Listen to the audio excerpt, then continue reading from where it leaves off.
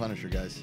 Don't let him stand behind you because he will take you out in any way possible. Gun, knife, fist, another gun, shoot you through a wall. He's going to do all that. And we're going to talk about that trailer on today's Collider TV Talk. Guys, welcome here to Collider Video, Collider TV Talk. I'm Josh Macuga. I'm your host here every single day until I leave for a wedding and a honeymoon, and John Roca will be subbing in for me. But as of now, we are live every single day, 11 a.m. PST. We're here on a Central, Central Wednesday. Uh, joined as always, Cody got a good laugh out of that one. Uh, here on a Wednesday is our mother of Ginger Dragons, the one and only Grace Hancock. Oh, hello and good morning. Welcome to Sensual Collider TV Talk. Tweet me your sensual questions Ooh, at yeah. Mrs. Graceface, hashtag Collider TV Talk. Oh, And Grace, may I say your hair is looking extra sensual today? Oh, I think, oh, Joshy, thank you. Look at oh, that. I yeah. mean, it's not, it's Yeah. not bad. Crushing You know, it. these cameras make it look really red. Like every time I watch this, I'm like, damn, girl, killing it. You know? What's Yeah. up? I like it. And here always on a Central Wednesday, it's our it's our mother of anime. Uh, hashtag hashtag anime dragons. It's Emma Fyffe. I like that. I like, I, I like that when you say mother of ginger dragons, I just get in the vision of of in my head dragons, but instead of having scales, they're just covered in like ginger Freckles? glorious hair. Uh, that's oh, yeah. bomb yeah, on like every now, level. And now little anime dragons. I like that. Yes. Yeah. Uh, like little cute ones. Mm-hmm. I will Aw, say, Joshy. Spirited Away mm-hmm. it was one of the only anime things I've ever seen. Okay. because It was recommended to Yeah, me. it's a great And film. It's amazing. It's a really, really well done film. And they have dragons. There in is that. a dragon in There that, is as a matter of dragon. fact. Can't go Yeah. wrong with dragons, as I Anime always dragon, say. hashtag Fyffe Dragons. Yep. Yep. What's up? I like it. Okay, we got a fully packed show here today. We're going to do some MMA. Obviously, we're going to talk about Rick and Morty a little bit later. I know you guys enjoy us talking about Rick and Morty, and I enjoy watching that show. So it's a win-win for everybody. Grace. but before we get into that, we got a bunch of news to talk about. So, Grace, what's up? Oh, okay, so first of all, and most importantly, in my opinion, which is the only one that counts, Netflix has released the first full trailer for The Punisher, showing Jon Bernthal in all of his badass Yes. anti-hero glory. Yes. I can't. There's like some dope Metallica in this trailer. Master of Puppets. It is so. I mean, I this is honestly. We were talking about this a little bit earlier. Probably my most anticipated show of this fall. I love vigilante revenge. I'm like hell to the yes. Yeah. he is so talented. I can't wait. Well, in the Punisher at the time that he was introduced into Marvel Comics was so unusual because that concept of the anti-hero didn't quite exist in mainstream comics Yeah. and now we're seeing Punisher get and and and, and Punisher is an interesting instance because it's always gotten kind of some mainstream attention because there have been multiple Punisher films Mm-hmm. already, but I think that the Netflix world is where this character is really, really going to shine. And I just, I love a good anti-hero. I, God, I me just too, love, right? I know. I love complicated heroes. Yes. Because right. the thing is, is yeah, A spider he- bit me, and my life's tough because high school is Yeah, hard. this is my Right. problem ah, with a lot of Marvel. Right. I don't care about the Boy like Scouts. Spider-Man. I Yes. can't root for a Boy Scout. I'm like, go Truth. have a beer. Shut up. exactly. And and but Punisher is at the core doing stuff for the right reason, Yep. but the tactics that he's willing to employ are just Murder. ruthless. you know, uh, so his moral stance is so interesting to me, and and Jon Bernthal is just so freaking good in this is part. so Yeah. good. He has a very I sexy mean, I- voice. I I, want his voice to be like my conscience. Yeah. Yeah, and I good. I loved him on Walking Dead. I Yeah. really did. Like When Shane was Shane- such a great character, and I'm just so There's- glad to see him here. There's a hashtag out there called it's hashtag searching for Shane because Walking Dead fans have been searching for a Shane ever Mm-hmm. since he left. Because really and truly, like, yeah, Rick is fine, but Shane was the show. Oh, he was. I mean, Shane was Shane was everything in that show, and really, I mean, listen, I like the governor, and I'm I'm enjoying Negan, but it's no Shane, it's no, No. Shane. But that's not. We're talking Punisher. I gotta say, my favorite part of the trailer though, is when he when he just says, "Oh, I'm gonna have to kill everybody." He's like, "I'm okay with that." You're like, Right, me too. I loved that. Yeah. Um, because, because again, I think that that is sort of the essence of what the character of the Punisher is all about. It's we have these people we're working together towards a common goal, and maybe there's going to be some extra casualties because you're Yes. working with I Punisher. know. And I love But- having like that friend who's like, hell yeah, Yeah. I'm on board. Instead of like, no, no, justice. And it was like, no, I'm in. And I was like, you I guys hope are that- cool. I really hope that that Karen Page isn't the voice going like, "You don't have to kill everybody," because she's always I that know. daredevil. I hope It's she's like, not shut either. up. I because the thing is, I really liked the Deborah murder. Ann Woll. I've always liked her since uh, she was on True Blood, and I Mm-hmm. I want did like her in True Blood. I forgot about that. Yeah, and I I just want Yeah, I love her Karen to to be on board with this story. Thank you. know Yes, be on board. I want everybody to be on board. Agreed. All right, what's next, Grace? Um, and speaking of shine, Um, AMC Shine? has released Shine. the official key art for season eight of The Walking Dead. Ahead of its premiere next month, it features Rick Grimes, played by Andrew Lincoln, and his group of survivors preparing for all out war. So, season eight premieres October 22nd with their 100th episode, which is pretty insane. Um, Lot of I walking. personally don't Yep. care, but it's insane. A lot insane. of walking. Yeah. Lot A lot of- walking. lot of walking. A lot of dead people walking. I mean, Walking Dead is a series that kind of lost me It lost a lot of people. partway through. I mean, you uh, could see a review last year, like each episode, we premiere episode, big numbers, and then as soon, like by the end of the season, we weren't, we were averaging like twenty thousand an episode because everybody jumped ship from The Walking Dead. However, listen, if you're gonna come back this season, you really want to grab fans, like basically showing, it looks like Washington crossing the Delaware with all the Yeah. Union soldiers, right? If you're gonna go all out war, you better promise me all out war. I better see all out war. I don't want to have like a Carol episode in the middle of the like house, and she's like, oh, "Life is hard." Just start shooting everybody. I'm talking everybody. I want bullets. I want guns. I want Punisher Well, style because- violence all the time. Carol has proven herself to be a badass Yes. on Walking Dead, and that's I think at this point what And we want to wasting her as see. Susie Homemaker. Because uh, the thing about Walking Dead is I. I I was one of the people I didn't mind that it was slow when it was examining the human condition in the world of the walkers and what happens when humans are no longer the top of the food chain. But you need to get into some action at some point. And based on, and I love, I really do love this banner. It looks fantastic, Yeah. and uh, I think the Washington crossing the Delaware allegory is absolutely correct. And so this is what I want to see. I just want to see nonstop action. I want to see Ezekiel kill some people with a tiger. Yeah. And yeah, and I Make have, a war I have questions Make about the movie. tiger. What is that a thing? Oh, you don't yeah, yeah, Ezekiel King has Ezekiel a has a tiger. That's so like Princess Jasmine. Yeah. Like Yeah. that's Except cool. this tiger kills people. this, this tiger does kill people. It's like the Punisher It- tiger. it's a Punisher tiger. Yeah. It is. Put a skull on it. What's next, Grace? All right. Um, also, uh, the CW has released images from season four's first episode of The Flash. Um, so it's going to be returning October 10th with a lot of uh, stressful standoffs and beards. that's that's all I wrote to, to say. I will say, listen, I, I gotta, I gotta tell you, I really enjoy hot. Uh, Caitlin, Caitlin Killer as Frost. the as the bartender. Yeah. Listen, here's the thing out there that guys have, and it's called affection for bartenders. Uh, It just it happens. You go to a bar, and the girl behind the bar is hot. You fall in love immediately. I, I don't care. It, it- you could go to a gay bar, and the guy behind the bar is gay, or whatever you want to say. You fa- you fall in love with the person behind the bar.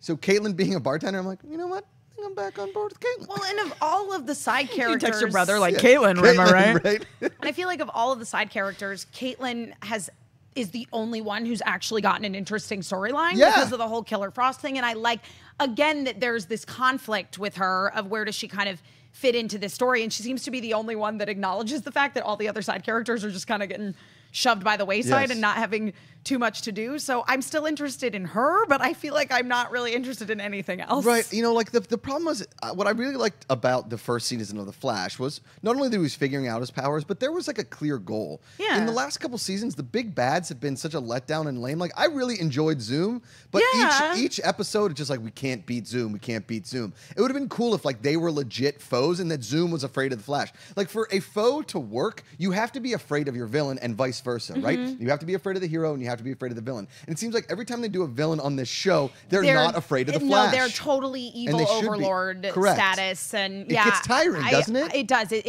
it's it's very exhausting, Yeah. and yeah. Why is there a samurai? In Yeah, the these- samurai What's going on? because nothing says Flash like question. A, a masked samurai. Uh, listen, I think this is this is like a this is a huge season for Flash because last season was not well received by a lot of fans, and I got to tell you. I, I liked some episodes, but not like seasons one and two. No. I really like seasons one and I two. agree. And we got 23 episodes to really weather a storm here. So I don't know. Let's see. What's next, Grace? Um, all right, so this is a little more. I'm excited about this. Yesterday, Damon Lindelof confirmed on his Instagram, the be all end all for news, uh, that HBO's Watchmen is officially starting production. I'm really excited about this because I think this is a really cool partnership with him. He's known for being super creative, super innovative, and and and um, what's the word? Imaginative is the word Yeah, I'm looking for. Like so this that. is like a, with having HBO behind him. I think this is like a really cool partnership. I do too, and that he's be- using that that twelve episode comic that everybody loves that turned into a graphic Right. novel. And he, if if if not anything, Damon Lindelof is thorough. Like the when the man He does a. TV show, he leaves very few strings dangling. And honestly, he does such a nice job of wrapping things up in a satisfying way, as we saw with the leftovers. Yeah. And the thing that's interesting to me is tonally, there are definitely some similarities between Watchmen and the leftovers with this sort of bleak Like state dark of humanity. dystopian, Yeah, I just yeah. I think that Lindelof is absolutely the person Yeah. to give the source material the treatment that it deserves. Because I, Yeah. I really like Watchmen. I'm not a huge fan of Zack Snyder's film, and I'm a huge fan of Damon Lindelof's work, particularly on The Leftovers, which he did with HBO. And I, I just really hope that this is a vehicle for Lindelof to get the kind of recognition that he deserves because I feel that he is woefully underappreciated. Agreed. No, one hundred percent. And just like the leftovers was woefully underappreciated. Um, I, I, I listen. I didn't like the first movie, and I don't think I'm alone in saying that I didn't Yeah, love the 1st I'm movie. a huge So fan. to see what they do in like reality, in, with a little bit smaller of a budget to make it more, gr- you know, practical Because, like, effects, more that kind of based stuff. in That reality is the- like Yes. aside from Dr. Manhattan, that is the comic. It's just people. It's just about humans Yep. that are taking it upon themselves to become Watchmen. heroes, Yeah. essentially. Yeah, to become the Watchmen. They're they're not all powerful, and I yeah, I just think th- grounding it with Lindelof sensibilities and in HBO with a little less money. I mean, that's just the way to do it. Agreed, one hundred percent. All right, Grace, what's next?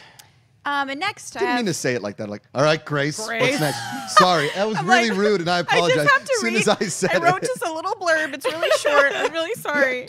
Uh, it's really short. It's literally HBO has renewed The Deuce for season two. I'm done. Nailed That's it. it. Woo! Woo! It's literally season uh, eps- the premiere I episode hope they was kill off James. Franco in season one. Or at least one of the James Franco. Kill off James Franco and dies. everything he's in. Uh, Um, I lo- okay, so I watched the second episode of The Deuce, right? You can, you know what? Throw a spoiler up there, Cody. Yeah. By the second episode, Look like the first episode, alert. he hates his twin brother, like the straight brother Yeah. hates the like the shitty brother who's in gambling debt. By the second episode, they're like, "Remember when we was kids and we was best friends? Let's be that again." And they're like, "Yeah, let's be best friends again." And we're like, "The fuck? Now there's no conflict.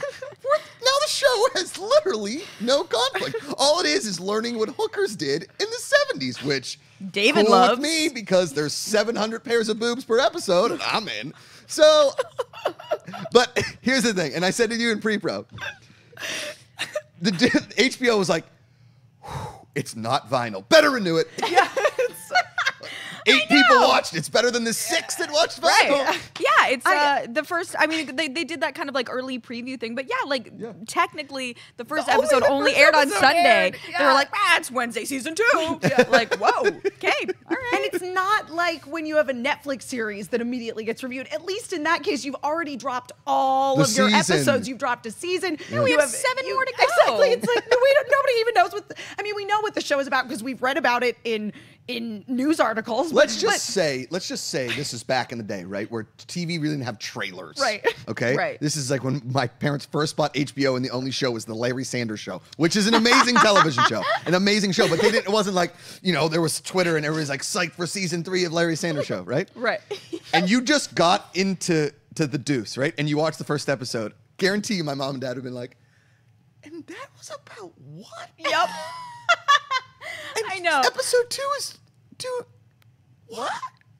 Because if we didn't have the trailers to see what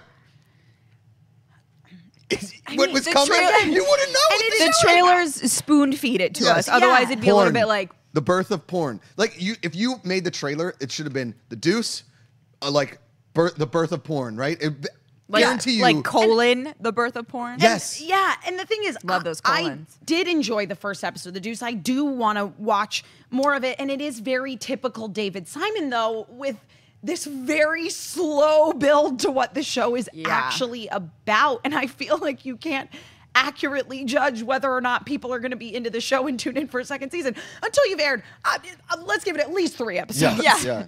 Yeah. Where's the Josh Macuga rule, HBO? Yeah. Don't you know? Three episodes.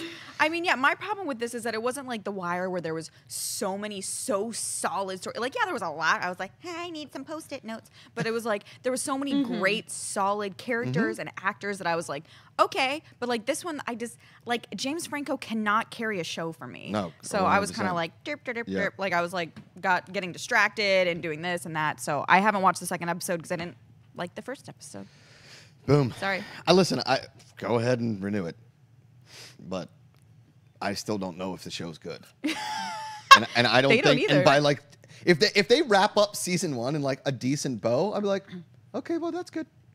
Like, can't, And then season two, more porn. more porn. Like it would be kind of cool if it went boogie nightish. If this was like the part of porn when it was like it's That's- huge and it's in reels and all that stuff. And by the time like by by the way, we now have camcorders and like porn has changed. Like I, okay, That's what I was thinking because to me it feels like the Deuce as it exists with the idea of it the sort of legalization of the pornography industry and the kind of sexual revolution in the 1970s. It feels to me like the story they're telling right now is a mini series. correct, correct, one hundred percent. Mm-hmm. Yeah. Yes, you nailed it. Yeah. So all right, well. Guess we got. there we go. Again, let's let's just Grumble, say, grumble. HBO like through the fourth episode. They're like, we got to get rid of one of these James Francos because he's one of these dudes. There's like too go. too many James Francos yeah, right now. too too many. We went full Franco. Too many. Francos. We went We too went full Franco. Okay. Uh, before we move on to EmmaMation, I would like to. Uh, I teased it on an Instagram live video, and if you guys are watching right now and you want to, we're before each show, we're, we're going to do trying to do either a live Twitter video or a live Instagram video. Maybe we'll alter back and forth, but uh, we're going to be live, just taking some questions, hanging out before the show, a little pre-pro video for you guys. And I talked about it, but on Monday, because Scott Mantz saw Star Trek last night, so did a couple other friends. I Not a heard him of- screaming from Yes. uh, like deep North Hollywood. nice, nice. uh, Scott Mantz saw it. We're, we don't get to see it until Sunday uh, with the rest of you, and an embargo has been set for the reviews. But Scott Mantz will be on TV Talk on Monday. Yeah, to- yeah. For the first like seven to ten minutes, or as long as the microphones can handle them, um, and talking talking Star Trek because I know a lot of you are anticipating this series and uh, and are really excited about it, and so are we. So we're gonna bring on Scott Mantz. It's gonna be a great time. It's gonna be loud. So bring your headphones.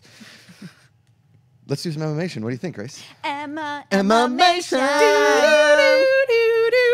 Mason. That's how the Power Rangers yeah. song Oh, continues. Oh yeah.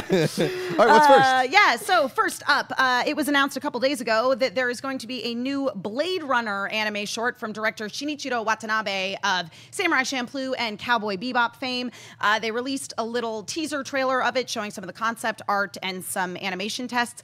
The thing that is crazy about this is this was just announced a few days ago, and it's going to be airing on Sony Japan's YouTube channel on September 26th. Wow. So obviously, it's been in development for quite a Why while. wouldn't they say I have about it? no idea. And when we went to that Blade Runner party at Comic Con, I know that I ate a nut taco and like the party was ruined That's for me. That's true, that's but there was nothing about an anime. No, well, and the, and the thing that's really interesting is so, and he says it in the little trailer that they released, is that Shinichiro Watanabe, and you can see it in his work, says that you know one of the biggest influences on his career as a director was Blade Runner, and Blade Runner was a huge influence on the anime industry for things like Ghost in the Shell. Yeah. It's that that sort of bleak view of the future where you get this kind of mashup of American culture and, and various Asian cultures. Obviously, in Blade Runner, it's more specifically Chinese, but it just fits so well into that kind of cyberpunk anime world and i i'm very very excited to see this and apparently it is it, the new short is called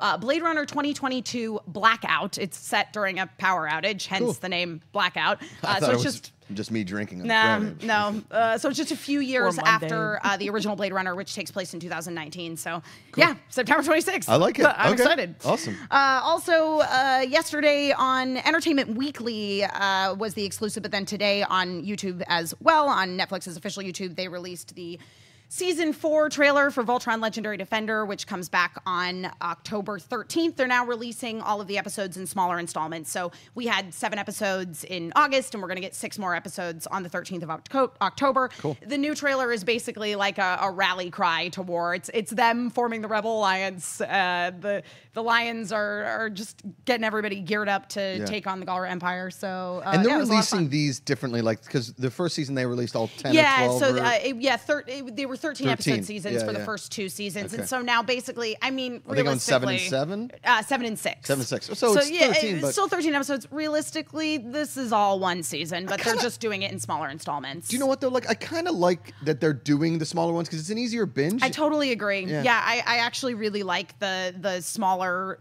Especially because it's only a half hour. It's only a half hour show, so it's super super easy binge. I am gotta very tell excited. You, like, I'm, you know, I'm, you know, I'm not a huge anime fan, and when animation comes, I like the adult stuff like BoJack Yeah. or, or whatever. But Voltron is super fun. Voltron's really, really fun. And the in the last season, I loved the first season. I liked the second season too. I didn't like it quite as much as the first. I felt the character stagnated a little bit more. Mm-hmm. But season three came in swinging, and this is really kind of the back half of season Cool. three. So I I am very, very excited to see where the story goes. Awesome. And then finally, Whoa, whoa, whoa! Rick and Morty. Okay. Now, usually on a Rick and Morty episode, we talk about how like they're commenting on like world Yes. like, in a very creative way. This was basically a clip show. It was a clip show. which is incredible. Yep. And the way they did it is so Rick and Morty in the fact that like these are clips that we've It's a never clip show seen that before. You've never seen before. There's like a highlight reel of, of episodes we've never seen before, right?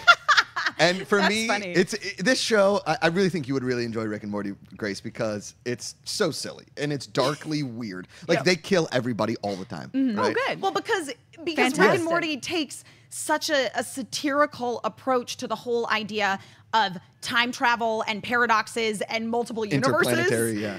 So, I, and I mean, they just go balls to the walls with it. Uh, And I got to tell you my favorite part of this episode. which was your favorite episode we'd never seen? What episode we've never seen is when Rick becomes like possessed by the worm in his Oh, mouth, yeah. and his parents and his mom and sister are like, "Come on, you can get it out, Rick." Oh, I know, Morty, you and he's trying to cough up the And they're worm. like, They're like, "We love you, "Ew, Morty. Ew, it's gross. Oh, we love the, you." The, the worm starts going back, and they're like, "Be nice again." They're like, "Yeah, Morty, get it out of there." Like their mom and the sister like don't really care if he I, survives or re-. I, I loved too the the thing where the mom was captured and the alien's like, I know that mammals really love their offspring. You can choose one of your children to save. And without hesitation, she's like, Summer. Summer.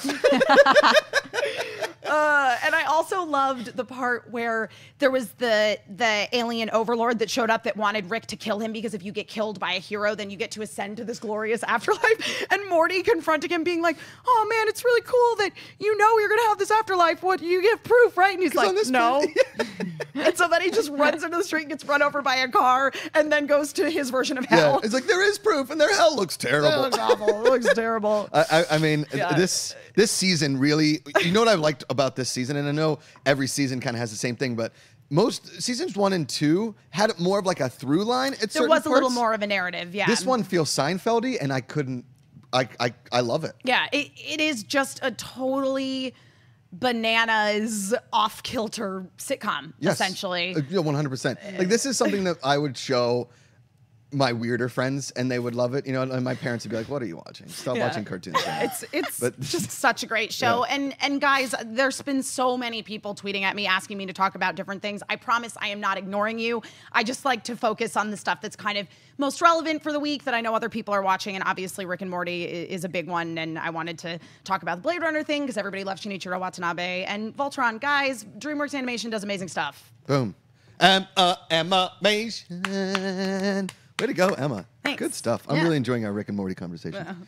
Um, you want to do some Twitter questions, Grace? Um, I would, and I would also like to uh, apologize for the snort that you heard off camera earlier. That was me laughing because every time Josh says nut taco, I can't be an adult. yep. Uh, yeah, we're gonna go to. This is honestly one of my favorite Twitter questions from our friend David Wilson. If Collider, Stu- if Collider Studios cars were spray painted with dicks, who would be your first suspect? You would be. Who's drawing? Who has the sense of humor of an eight-year-old? yeah. Who would have a, an accomplice in the dick drawing? Grace Hancock. you would. Yeah, you, Grace and I would do like- it in broad daylight while people are watching. We're like, we're putting dicks on your cars. gotcha. I know that's why I was laughing because when I first read it during, I was like, I was like, would it be me or Josh? Like, I don't. Ah, it's See, a toughie. funny because Who I, would you think? I think that somebody would try to frame Josh Macuga specifically, but I could definitely see Grace doing it. So I feel like it would be somebody we maybe didn't expect, who maybe has a little like anger brewing. Cobster. Cobster. yeah. You know who else could be like an unknown co- accomplice? Dennis. Yeah, I was gonna say Oh, like Dennis, like silent ninja, like Elijah Yes. Wood in Sin City, like. Yeah. And then he would put on Slack. Who truth? Who drew Yeah. the and who's in my parking spot. Yep. And who's in my Uh, parking yes. spot. Should we do one more? Yeah, let's do one more. Um, I I like this one also from our friend Derek Spicer. What do you He's guys think questions. Netflix dude. is trying to accomplish by keeping the release date for Punisher conspicuously hidden? Oh my god, that drove me crazy. At I the end of the the trailer, computer. I literally was like, I was like watching my iPad, and I was just like, I paused it. I paused it like six or seven times. All I see is 2017.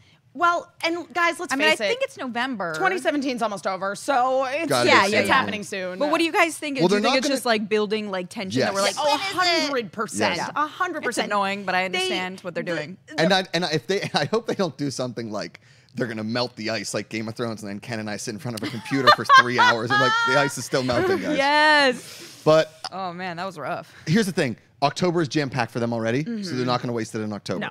Right. There's not a ton coming out in November, and then a lot of stuff airs in December because. Uh, Netflix is smart and knows that idiots like us go on like a two week kind of hiatus, and we're like, let's get bingy, right? So they start releasing all that stuff. So I think November is probably I agree. right before Thanksgiving, Totally. maybe. Yep. Yeah. Thanksgiving weekend. Yeah, Yeah. I would not be surprised. Ooh, Black Punisher Friday. turkey. Ooh, Black Friday Punisher. Emma Fyffe is a friggin' genius. Man, yeah, snap the shit out of that. Thank you very much. All right, let's do a. Uh,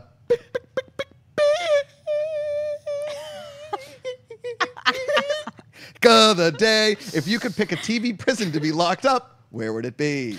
Uh, for me, I would choose uh, Betatraz from the second season of Voltron. Oh, there you go. I like that. yep. Yeah. Weird little alien buddies. It'd be a great time. I want that on a T-shirt. Weird little alien buddies. It's gonna be a good time. Emma Fyffe. Um, I would for sure. I would probably. Oh, perfect. Did you read my mind? I would probably say Orange is the New Black because I could hang out with like some cool cats. Yeah, and they like gingers there. Gingers You know, the- Yeah. Well, they like gingers everywhere. the real prison that that's based on was like I don't know, 15 minutes from my house where I Oh, grew get up. outta here, Mhm. really? Yeah, in Danbury, Connecticut. Shut the front Yep. door. That's amazing. I love it. Damn. Um, That's. I don't know why that makes me I would tell you, excited. I'd tell you the prison I wouldn't want to be locked up in. That's the one from Oz because Uh, yeah, everybody right, gets right, raped in that one. or Uh, the night of, where you just turn into like oh, a crackhead and have to join a Don't- gang. guys, don't smoke crack. It's not I would. I'd be a terrible crack smoker. I'm Yeah. a real lightweight. Um, I would pick. You know what prison I would pick? I'd pick the prison in Prison Break because you can get out of it. Yeah, I mean, break is in the title. Correct. Duh. I love the way your mind works, Joshy. He's a Oh. good man. All right, that'll do it for us here on Essential Wednesday. Uh, special thanks here to Emma Fyffe for always being here on Essential Wednesday. Emma, where can the good people find you on the internet? You can find me on Twitter and Instagram at Emma Fyffe. My name E M M A F Y F F E. Join me this afternoon on Hyper RPG. I'm going to be continuing to stream Tokyo Dark, which is a really fun, scary game, starting at four o'clock p.m. Pacific time. Fun, scary game. Those Yep. Two like- words don't go together. Yep, with not for. Josh Macuga. They, they don't. they absolutely do. Mrs. Graceface? Um, and I'm Grace Hancock. You can find me online everywhere at Mrs. Graceface. I drew the dicks. Hashtag it. Uh, guys, I'm Josh Macuga. Josh Macuga on Twitter and Instagram, The Josh Macuga Show on YouTube. Uh, I posted this morning. I, it's an unbelievable opportunity. I get to host a show on Travel Channel. Thank you very much. Uh, starting this Saturday, it's just the pilot episode. So if you like it and you want to tweet it, Facebook it, Instagram it, Snapchat it, whatever, tag at Travel Channel. Tell them you love it. Tell them you enjoy me on it, whatever. If it goes to series, be an amazing, amazing opportunity for me, and uh, kind of like holding back tears here because it's really like a dream come true. So uh, I love doing TV talk. Don't take that away. It's just an amazing opportunity for me. I will never leave this desk. I promise you. As long as they give me a show here, I will do it. Uh, I love all you guys for watching. All the support, everything really does make a guy feel pretty special and humbled. So, as always, put down the book, pick up the remote. Hey everybody, Josh Macuga here. Thanks so much for watching this episode of Collider TV Talk. Want to watch more episodes? Click there. It's a, an interactive link. Or for more Collider content, click down there. Subscribe to the channel. Tell all your friends. Get an airplane. Drive it by that says Collider. I'm not telling you to buy an airplane. Just do whatever you want as long as you're watching Collider video.